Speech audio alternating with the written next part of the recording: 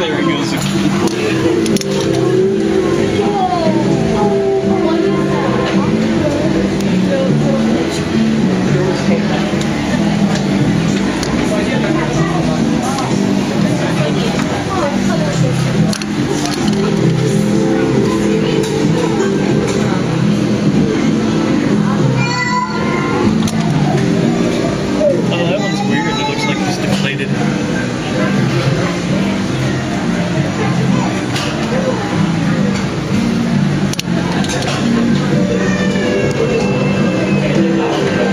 Spiny things on the uh, rock?